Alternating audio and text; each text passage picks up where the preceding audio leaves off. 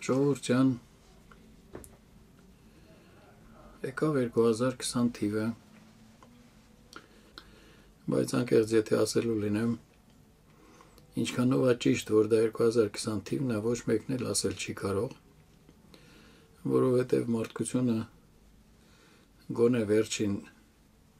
5000 տարիների ընթացքում բազմաթիվ օրացույցներ է փոխել եւ անցումը մի օրացույցից մյուսին հաշվարկային համակարգերում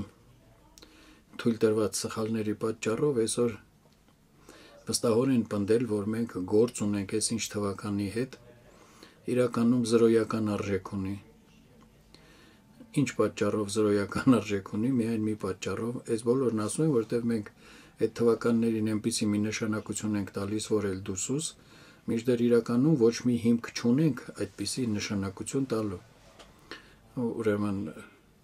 հաշվարկային համակարգերում թույլ տված սխալների պատճառը հələ դեռ դնենք մի կողմ, ցանկացած ժողովուրդ իր օրացույցը սկսում է իր համար նո նշանակալի արժեք ներկայացնող կամ պատմական արժեք ներկայացնող կամ արմատական բնույթ ունեցող ինչ որ իրադարձությունից այդ իրադարձությունը համարելով զրոյական կետ եւ հաշվելով գալով դեպի մեր կողմ, դեպի այս կողմ։ Իսկ թե դրանից առաջ ինչքան է եղել տարիների քանակը կամ ովքեր են եղել կամ ինչ է եղել одному Богу известно։ Հիմա այսպիսի այսպես ասած ոչ այնքան ցանկալի ներածությունից հետո փորձենք պատասխանել ձեր առաջարկած հարցերին այնքանով, ինչքանով որ մենք իրավասու ենք այդ հարցերին պատասխանելու։ Մի բան շատ եմ խնդրում բոլորիդ։ Այն ինչ որ ես գիտեմ եւ ինչը որ ստուգել եմ եւ ստուգելուց հետո եմ խոսում, ես խոսում եմ ճափազանց վստահ եւ ես պատասխանատու եմ իմ ասած ցանկացած բառի համար։ Բայց բաներ կա, որ մենք ոչ մի կերպ ստուգել չենք կարող։ 1 եւ երկրորդը, ինչ էլ որ ասեմ, ես ասում եմ իմ անձնական կարծիքը այդ հարցերի մասին այդ կարծիքը բնավել պարտադիր չի, որ դուք ընդունեք որպես ճշմարտություն։ Ուղղակի էլի ուրիշ մարդկանց կարծիքների հետ կարող եք զուգահեռ անցկացնել եւ եզրակացությունը, որը դուք կանեք, ձեզ համար կդառնա ձեզ համար ընդունելի կարծիք, ընդունելի ճշմարտություն, որի վրա դուք կարող եք հիմնվել եւ կառուցել ձեր աշխարհը կամ ձեր աշխարհի էթիկան ու բարոյականությունը այ այսպիսի ներածությունից հետո նոր ուրեմն հարց Արտյոմ Հովյան. Պարոն Բարոյան երկիր մոլորակի վրա քանի քաղաքակրթություն է ապրել եւ ինչ առաքելություն են նրանք կատարել շնորհակալ եմ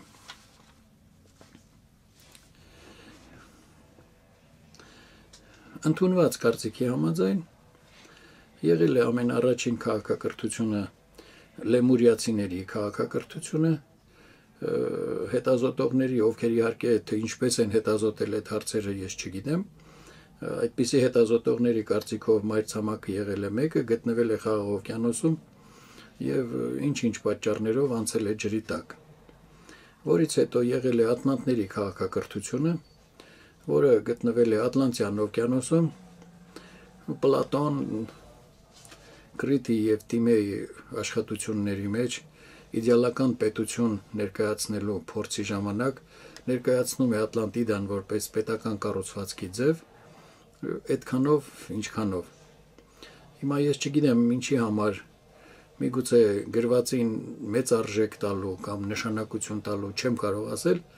բայց մասնագետների կարծիքով Պլատոնը Սոլոնի թորն է, իսկ Սոլոնը Աթենական պետության մեջ պետական կառուցվածքի եւ օրենքների հիմնադիրն է, որը հայտնի է որպես Սոլոնի օրենքներ, ու դա ստրակատիրական հասարակական համակարգում օրինականություն սահմանելու եւ այդ օրինականությունը օրինականությունը պահպանելու նպատակ է հետապնդել իսկ զանազան գրվածքների հիման վրա Սոլոնը 10 տարի ուսուցում է անցել Եգիպտոսում Ամոն-Ռայի տաճարի քրմերի կողմից եւ այնտեղ է լսել Ատլանտիդայի մասին, Ատլանտիդայի կործանման մասին, մեծ ջրհեղեղի մասին, որի հերանեկարում ճիշտ, որի արդյունքում Ատլանտիդան կործանվել եւ անցել է ջրի տակ։ Ինչքանով է ճիշտ, ես ոչինչ ասել չեմ կարող։ Կան գրքեր, կան կան զանազան կարծիքներ, կան ի վերջո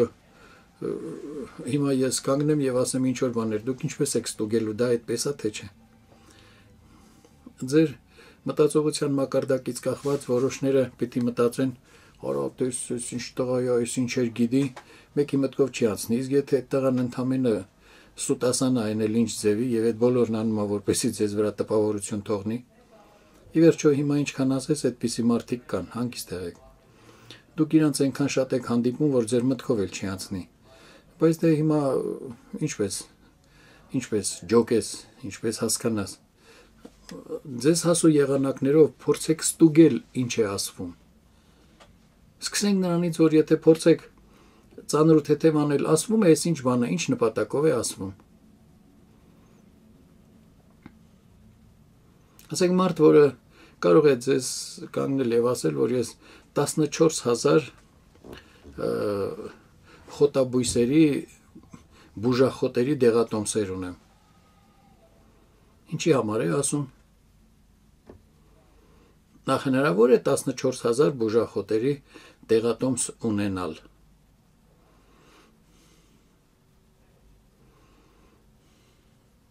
Խոսքով դուք գիտեք։ Կարծում եմ, որ ինչ որ գիտեի Արտյոմ ջան այդ մասին ասեցի, խորանալու մեջ իմաստ չեմ տեսնում, ասեմ ինչի ասենք թե եղել է 5-ը, եղել է 15-ը, կամ ընդհանրապես ոչինչ չի եղել։ Դա մեզ մեր այսօրվա առօրյա խնդիրները լուծելու առումով որևէ բան տալիս է, չի տալիս։ Դե իսկ եթե չի տալիս, արժի ոսկե ժամանակը, որը կարող ենք մեզ անհրաժեշտ արկա գիտելիքը ձեռք բերելու վրա ծախսել, ծախսենք մի բանի վրա, որ իմանանք էլ ոչինչ չունենք, չիմանանք էլ ոչինչ չունենք։ Մարդը սովորաբար ուզում է անցյալը իմանա նպատակ ունենալով այդ անցյալից, այլ ճիշտ այդ անցյալի հիման վրա տեղեկություններից ելնելով անել եզրակացություններ, այդ եզրակացություններից ելնելով կառուցել ապագան, որը կանխատեսելի լինի եւ ինքը կարողանա միշտ հաջողակ լինել այդ կանխատեսված ապագայի մեջ։ Իմացանք Ատլանտիդան, իմացանք Լեմուրիան, իմացանք ինչ եզրակացություն պետք է անենք այդ եզրակացությունների հիման վրա ինչպիսի կանխատեսելի ապագա պիտի ենթադրենք, որ պետք է որ լինի։ Պետք է որով ազնվորեն ասեմ ձեզ, ինչը ուզեք կապացուցեք, այս վերջերս քաղաքական քաղաքական շրջաններում դե Թերեզա Էնիկը ինչ է այդ Անգլիայի այդ կնիկ էլի Այդ որ ոչ երեխա ունի, ոչ մարդ ունի, ոչ լվացք, ոչ ճաշ, ոչ մի բան, արտահայտություն գործածության մեջ դրեց highly likely հնարավոր է որ հասկանում եք հնարավոր է որով ինչ ասես կապացուցես բայց այդպիսի ապացույցը մի խոսքով Արտյոմ ջան այդքան կարացա Մարինե Օհանյան այսի դիֆերանտ հաճույքով լսում է ինձ տեսելը Եթե կարելի ասացեք, խնդրեմ ձեր կարծիքը երեխաներին պատվաստելու մասին, արդյոք չեն ցանկանում աղավաղել հայոց գենը։ Պատվաստներով գեն չես աղավաղի։ Մարինե ջան, բայց ես կուզեի, որ ասենք քեզ այսպեսի մի խորհուրդ տամ, քեզ մյուսներին էլ իզարմանս ինձ հայտնաբերեցի, որ Երևանում կան դեղատներ, որտեղ ինչպես սովետական ժամանակներում էր, տեղում դեղը պատրաստում են եւ տալիս են ձեզ։ Եթե ձեզ պետք է պատվաստել ձեր երեխային, ոչ թե պոլիկլինիկայում Ամերիկայից ստացված զանազան ապուշություններով պատվաստեք ձեր երեխային, այլ գնացեք այդ դեղատունը, պատվիրեք այդ դեղը, պատվաստային դեղը, բերեք տվեք ձեր բժշկուհուն, թող ձեր բերած դեղով ձեր երեխային պատվաստի զանազան հիվանդությունների դեմ եւ հանգիստ եղեք, ինչ կլինի այդ տեսակետից միայն դրանից հետո ինչի եմ ասում սովետական երկիրը նպատակամղված էր դեպի իր ժողովրդի բարեկեցությունը. Կապիտալիստական երկիրը թքած ունի իր ժողովրդի մեջ տեղը ես կարամ մենակ մի օրինակի վրա չնայած դեղի պատվաստման մասին են խոսում, մի օրինակի վրա փորձեն բացատրել։ Աշխարհի բոլոր երկրները պայքարում են կոռուպցիայի դեմ, ճիշտ է։ Պայքարում են, որտեղից է հայտնվում կոռուպցիան։ Ինչա կոռուպցիան, երբ որ ինչ որ մեկը իր պաշտոնը չարաշահում է հարստացման նպատակով, ճիշտ է։ Ու պաշտոնը, հնարավորությունը, չգիտեմ, էսը, այնը, ծանոթությունը,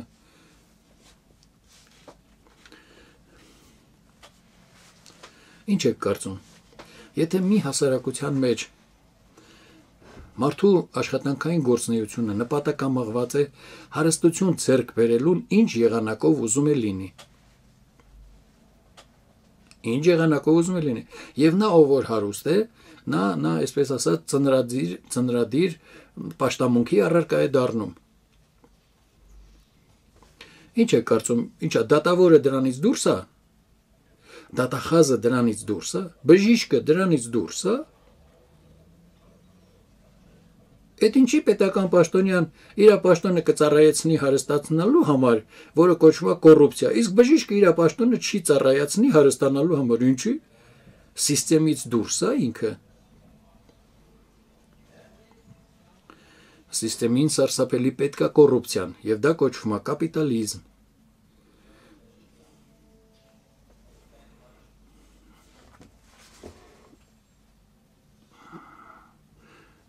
Մարինե ջան,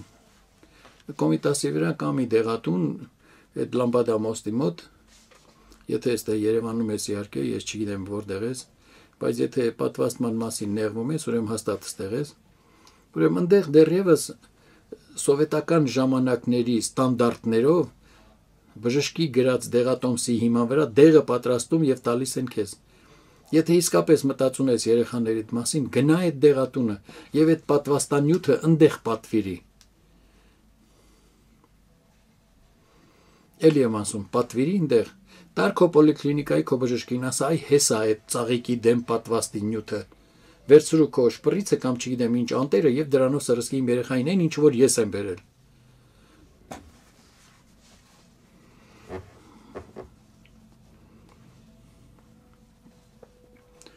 տա արդ, արա դե գրի էլի, դե լավ էլի, ոպշեն, տա արդ։ Բարև ձեզ, ինչ կասեք Արարատ լեռան նշանակության մասին և դրան, դրան հետևորդ նոյան տապանի։ Ինչ է նշանակում նոյան տապանի հետևորդ նա Արարատ լեռան, բայց ստեղ իհարկե վիճաբանություններ կան, ինչ տեսակետից վիճաբանություններ կան, Խնդիրն այն է, որ կորդված լեռների վրա կա նեղ մասիկ լեռը, որը երկգագաթ չի, եւ կա Մասյաց լեռը, ստեղ Արարատյան դաշտի գլխավերևում, որը երկգագաթ է եւ վիճում են թե Նոյան տապանը որ Մասիսի վրա է իջել։ Այս մեծ Մասիսի թե այդ Նեխմասիկ լեռան վրա։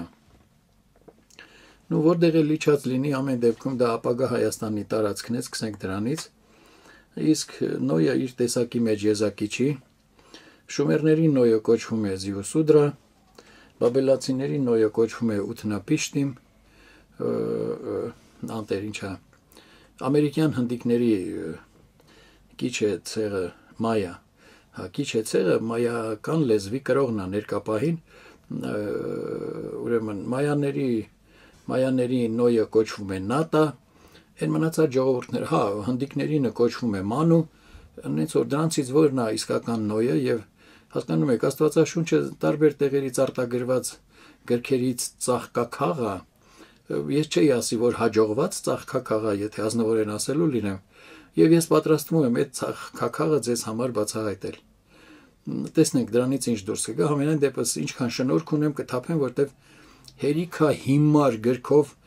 վախ պատճառեն ձեզ բոլորիդ եւ այդ վախից ելնելով կառավարեն ձեզ ընենց ոնց որ ոչխարների հոտին են կառավարում Ես արդեն սկսում եմ բարկանալ այդ կարգի բաների վրա։ Իդեպ Տեր հայրը նույնքան ենթակա է կոռուպցիային կապիտալիստական աշխարհում, ինչքան ցանկացած այլ պաշտոնյա։ Եվ դրան էլ գուվարած, որ նրան փողը դուք կամավոր եք տալիս, քիչ էլ ուզում։ Դուք այնտեղ փող գցում եք Աստծո համար, վստահեցնում եմ Աստվածը ձեր տված փողի կարիքը այնքան շատ ունի, որ ել դուսուս Պատկերացնում եք, եթե դուք փող չտաք, Աստվածը սովամահալնելու։ Հասկանում եք, արդեն ծիծաղելի էլ չի էլի, լրջորեն տխուր է։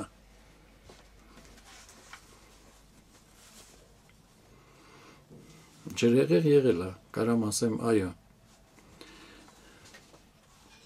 Նոյան տապան այն տեսակետից ոնց որ Աստվածաշունչնագրում չի եղել,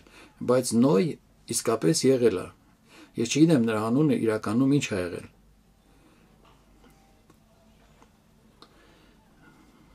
Ոշում այդ բոլորը հետագայում տեղը տեղին կբացահայտեմ ոնց որ պետք է։ Մենոա Իսկանդարյան, խնդրեմ բացատրեք աղքատ բառը։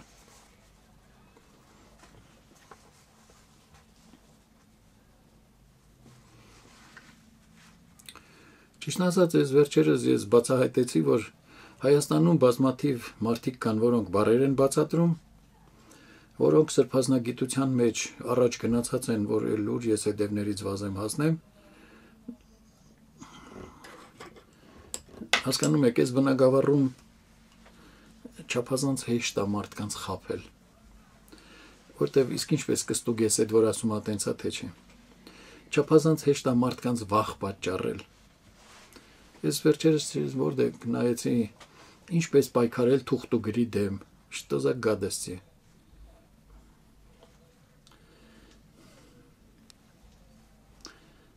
Բախկատ բառը Աղ բառը հայոց լեզվում 4 հոմանիշ ունի. անուշություն, քաղցրություն, գեղեցկություն, ներդաշնակություն։ Աղք քն հոգնակյակերտ մասնիկ է։ Շատ աղեր, այսինքն հոգնակինը, աղը եզակինը։ Այս քտարը շատերին է այդ բաների մեջ դնում, որտեղ լիքը մարդիկ, որոնք կարծում են, որ գրագետ են, գրում են Ես հավատքի հասկանում եք, քն նշանակում է հոգնակի գրափարյան ձևի մեջ քն հոգնակիա կերտնը։ Այսինքն, եթե դուք ասում եք հավատք, դուք ասում եք շատ հավատներ, բազմաթիվ հավատներ։ Հոգունի շնորհք ունեցեք, ասեք, որ ես այս մի հավատին եմ պատկանում։ Բայց դե դե ում ես ինչ ասել։ Ինչ սենց լնեք, ինչ չնենց լնեք։ Հատել նշանակում է կտրել, ձև տալ մշակել աղք հատ հնցղվել է իհարկե նշանակում է անուշություն, քաղցրություն, գեղեցկություն, մշակող, հատող, ձերկ բերող, նվաճող։ Դրա հականիշը հարուստն է։ Հայոց լեզվում հար նշանակում է մշտապես, անընդհատ, անverջ, ուստ արևմտահայերենն է, ինչի մեր արևելահայերենի որոշ բարբարներ էլ ուստ բառը գործածում են, որտեղից իմաստով, հարցականի առումով, այսինքն դու ուզում ես ինչ որ բան, ուստ։ Ես որտեղից այդ քո ուզածը քեզ տամ։ Դրա համար հար ուստ դու ուզում ես միշտ լինել ունևոր ունեցվածքի տեր, չգիտեմ ինչ, բայց ուստ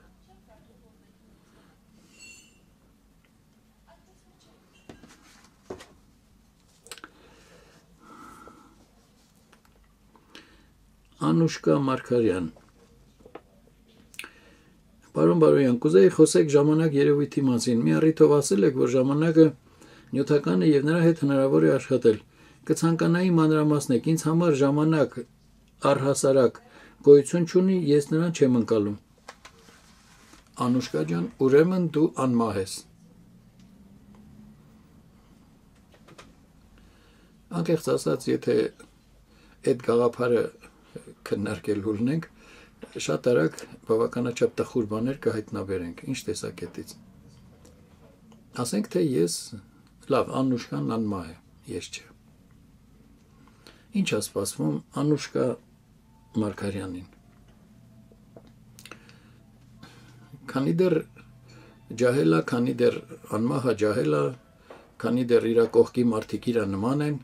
դեռ ոչինչ, կապրի, յոլա կգնա, Բոլորն իհարկե իրան կնախանձեն, եթե գիտեն, որ անմահ դնենք մի կողմ։ Ահա, բոլոր մարդիկ մահացան, Անուշկան մնաց մենակ։ Եկան նոր մարդիկ, որոնցից ոչ մեկին ինքը չի ճանաչում։ Իսկ եթե ճանաչում էլ է, այդ մարդիկ էլ եկան, իրանք էլ մահացան, գնացին, անուշքան ու զիջուզի գնաց բոլորի թաղմանը մնաց մենակ։ Մնաց, մնաց լիովին անտեր անտիրական, ում պետք է այդպիսի անմահությունը։ Այս երկրի վրա։ Մենք չգիտես ինչի ենք ձգտում անմահության, որովհետեւ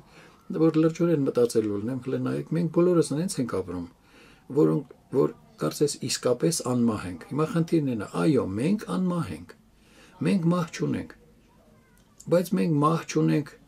հոգևոր աշխարհում, մենք մահ չունենք այն աշխարհում, որտեղ նյութի խտությունը չափազանց թույլ է,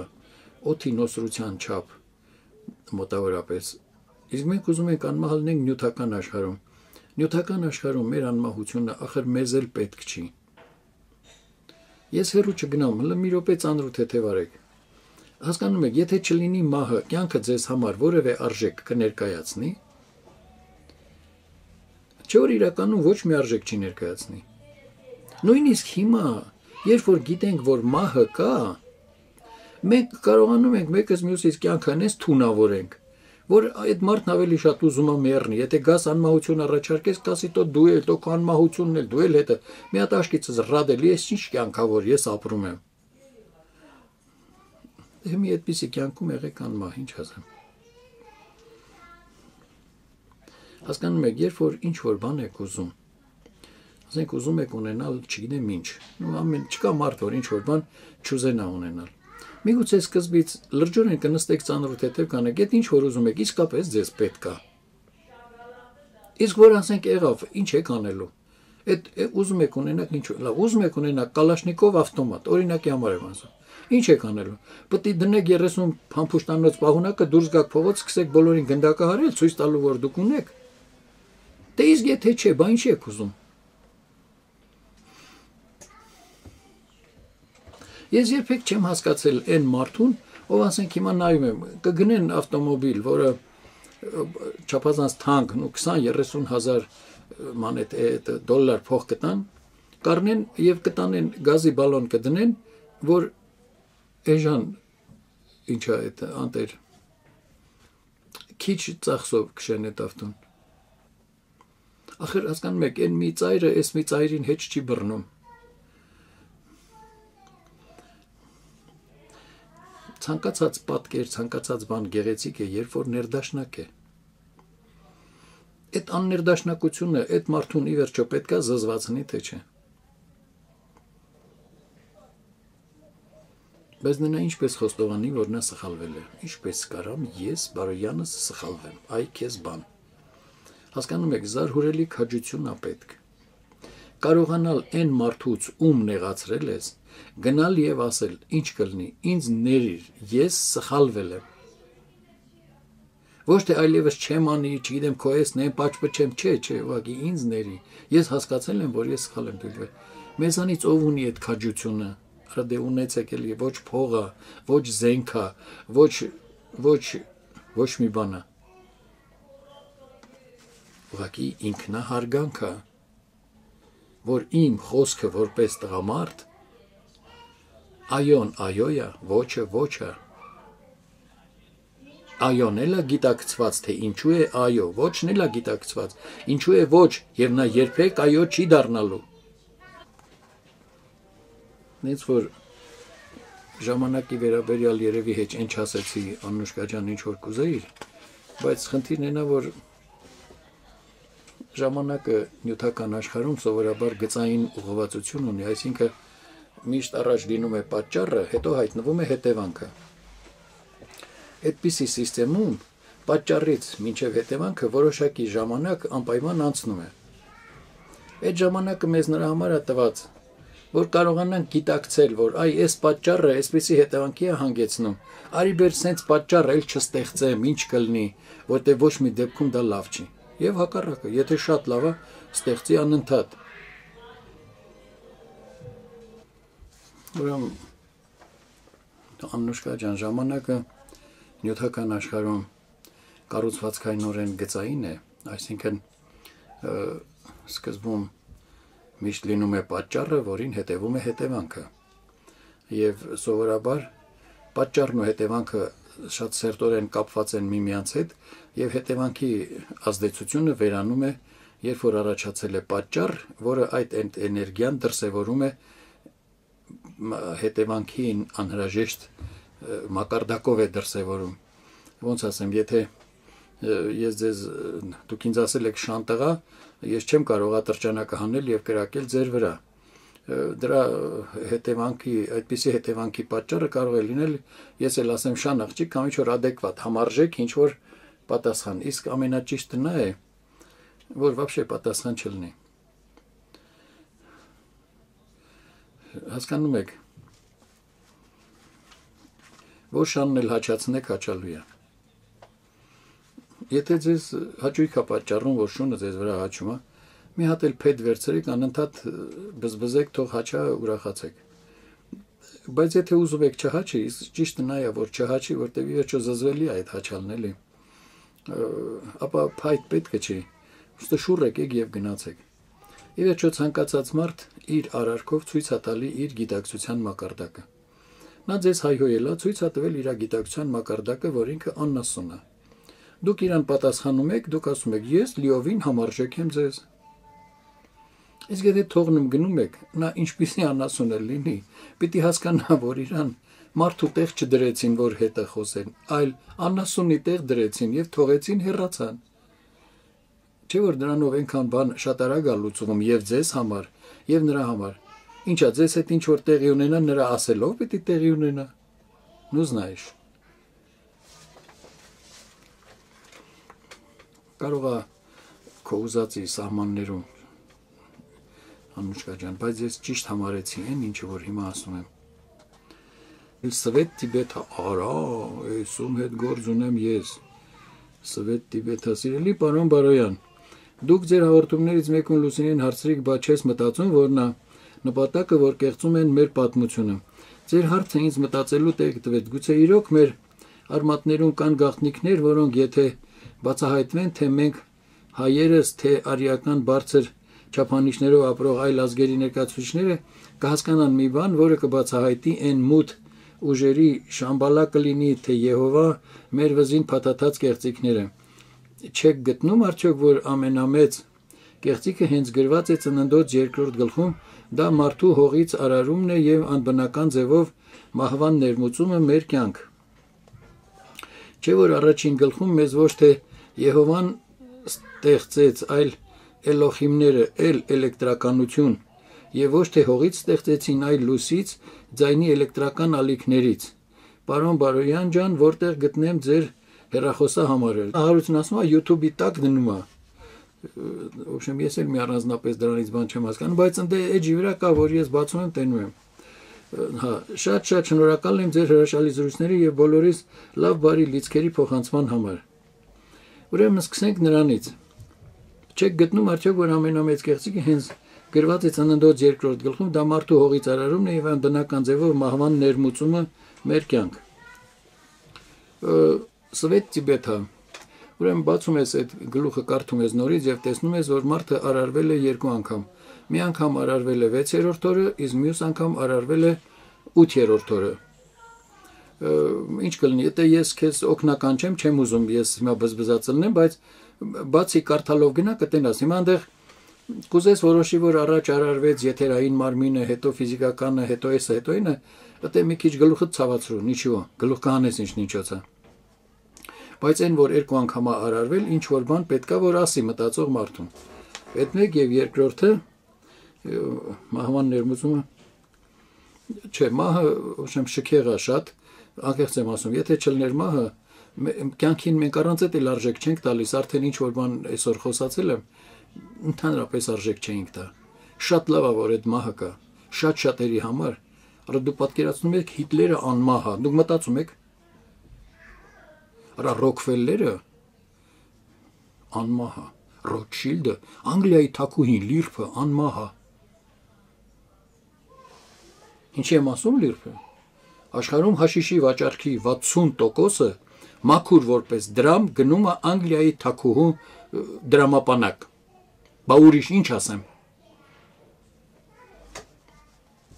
Կարամ ասեմ սուրբ, սկզբունքորեն դա նույն բանն է Անգլիայի համար, ազնվորեն ասելու ունեմ։ Մի րոպե։ անբնական ձևով մահվան, արդեն ասեցի, չէ որ առաջին գլխում մեզ ոչ թե Եհովան ստեղծեց, այլ Էլոհիմները, էլ էլեկտրականություն եւ ոչ թե հողից ստեղծեցին այլ լույսի ձայնի էլեկտրական ալիքներից, որ լույսը բանը սվետ տիբեթա, չգիտեմ որտից էս վերցրել, բայց մի բան կարամ հիմա ասեմ։ Էլ Աստվածանունը սեմական է, եւ այդ բարարմատը բոլոր Աստվածանունների մեջ սեմական ժողովուրդների գործում է եւ կա։ Հայոց լեզվում Լ տարի հնչյունը սարսափելի նեգատիվ ուժի կրող է, որը նշանակում է շատ մեծ եսապաշտություն։ Այն մարդիկ, ովքեր իրանց անվան մեջ Լ տառ ունեն, նրանց կյանքի նպատակը այ այդ եսապաշտությունից նու հնարավոր սահմաններում հրաժար, հրաժարվելն է կամ հնարավոր սահմաններում այ այդ եսի գործնեությունը իրանց բանական գիտակցությանը ենթարկելն է եւ ոչ թե ենթարկվելը այդ եսի պահանջներին։ Դա չափազանց դժվար գործ է, ես պետք է ասեմ։ Ինչ կլինի, այդպիսի մարդկանց կոժանդակեք ինչով կարող եք, իրանք շատ մեղք վիճակում են հայտնվում իրանց եսի պատճառով։ Եվ առանց մեր կողքին, իրանց կողքին գտնվող մարդկանց օգնության, իրանց համար չափազանց դժվար է լինում որևէ բան ձեռք բերել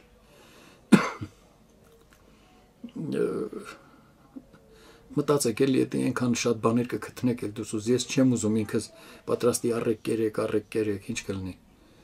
դուք ի վիճակի եք այդ անելու արեք հիմա մյուսը եբրայերենում եզակին Էլոհիմի եզակին կլինի Էլոահ այսինքն մեկ էլ Էլոհիմ հիմը հոգնակյակերտ մասնիկն է ոնց որ քն հայոց գրապար լեզվի մեջ Էլոհիմ նշանակում է շատ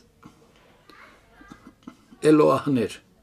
այսինքն բազմություն այսինքն ինչ որ խումբ մեկից ավելի ինչ որ բան որ այդ մեկից ավելի ինչ որ բանը մեն աստվածության ջատագով աստվածաշնչում բազմաթիվ տեղեր նշվում է դա լավ ոնց ասեմ աշտարակաշինություն կամ Եվան այդ բանի զորելով կերելա խնձորը, ինչ ասում։ Ում ասում, եթե ասում եւ ահա Ադամը մարդը վերցրեց, կերավ ճարի եւ բարու իմացության ծառից եւ եղավ ինչպես որ մենք ենք։ Մենք, այսինքն ով պետք է ասել ինչպես որ ես եմ։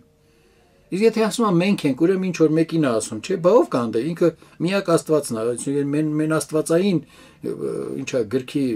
մեջ ենք մենք այդ կարդում շարունակությունը հիմա էլ ձեռը չմեկնի ու տիան մահության ծառի պտուղից մեզ նման անմահ լինի ոչ եմ այս աշխարհում անմահ արարիչից բացի ոչ մեկի չկա Եհովան երբեք արարիչ չի եղել, չի կարա լինի ոչ հիմա, ոչ էլ հետո բայց դե իր անունով է, այս ինչքան այլանդակությունը արվել եւ հիմա էլ արվում է Էլդուսուս։ Բայց իրան չեմ խղճում։ Այդ այդ այդ եւ մյուս տեղը Բաբելոնյան աշտարակաշինությունը եւ ասեց եկեք իջնենք եւ տեսնենք մարդու worth-իների ում ասում եկեք իջնենք տեսնենք մարդ էս մի աստվածես վերկաց ջանդվի գնա էտում ես հետդ տանում դե անպայման դի կամանդը լինի Չէ, դու դի գագոն ես, ինչ ես կամեն, լֆիկի սամոն ես։ Պաշտպանական ջոկատը հետևիցդ պետքա գնա։ Ոբշեմ տխուր է այդ բոլորը։ Բայց այս հիշատակածս մարդիկ նրանց ստեղծածն են։ Եվ այ այս սրա ստեղծածն է։ Որտեւ ինքը դրանց նման է ամեն ինչով մի հատ կարդացեք էլի այդ գիրքը, մի հատ տեսեք, այդ այդ ինչ հարաբերություն է դրա եւ մարդկանց հարաբերությունները, որոնք իրանք իրանք կոչում են Իսրայել։ Չկա հрья ժողովուրդ, մի դուք պահեք։ Աստվածաշնչում այդ ժողովուրդը կոչվում է Իսրայել։ Ահագին հետո կոչվում է Իսրայել եւ Հուդա։ Դա հետո է մայդան եկել հрья ժողովուրդ։ Ոբշեմ կգրեմ այդ իսաղ, ինչեւ չգրեմ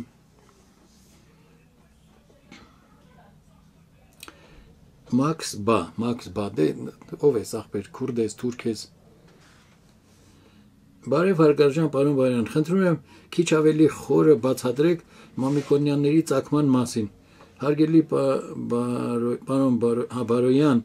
բարևներս եւ թանկագին ողջուններս ձեզ թանկագին հա, գոնե դուք մի ասեք Ղարաբաղ, շատ եմ խնդրում Արցախ ու վերջ, լինեք ողջ եւ առողջ։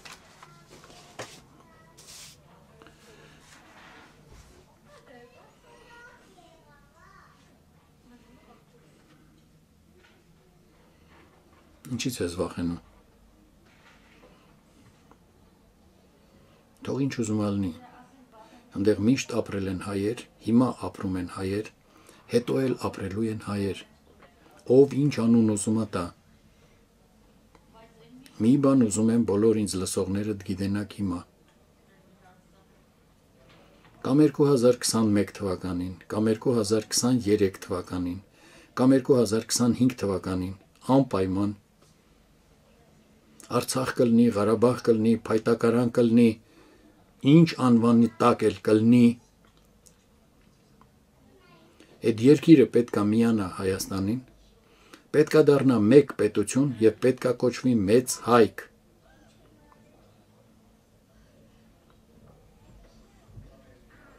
Մամիկոնյանները, որոնց մասին ընդ ինչ որ բան էին խոսում, ավերեցին մեծ հայքը եւ դարձրին Հայաստան։ Մենք պիտի վերականգնենք մեծ հայք անվանումը։ Դա է մեր իսկական անունը պետականորեն։ Երբ որ կլինի մեծ հայք, Արարիչ ամեն բան կանի, որ մեծ հայքը համապատասխանի իր անվանը։ Թե ինչպես կանի, այդ ոչ իմ գործն է, ոչ էլ ձեր մեզ միայն մնում է տալ անուն։ Երբ որ կլնի անուն, դա կլնի ձևը։ Նա ով ստեղծում է բովանդակություն, նա այդ անվանը կտա բովանդակություն։ Այն էլ լնենց որ մեզանից ոչ մեկի մտքով էլ չի անցնի։ Ոչ էլ կկարողանանք։ Ուզում եմ մեզ երգինք թրցնենք, գետին իջացնենք։ Մեծ հայք, բայց անպայման 21 թվական 23 թվական, 25 թվական, որպեսի թվերի գումարը անպայման լինի կենտ թիվ, ոչ թե զույգ։ Եվ մենք էլի հազար տարի ապրելու իրավունքը ձեռք կբերենք արարչության արարիչից։ Իսկ հազար տարվա մեջ այնքան հզոր մարդիկ կստեղծի այս ժողովուրդը իր համար ինչպես որ կարողացել է ստեղծել 14.5 հազար տարի շարունակ։ Տանք այդ շանսը մեր երկրին ու մեր ժողովրդին։ Մեծ հայք։ Լավ մնացեք բոլորդ։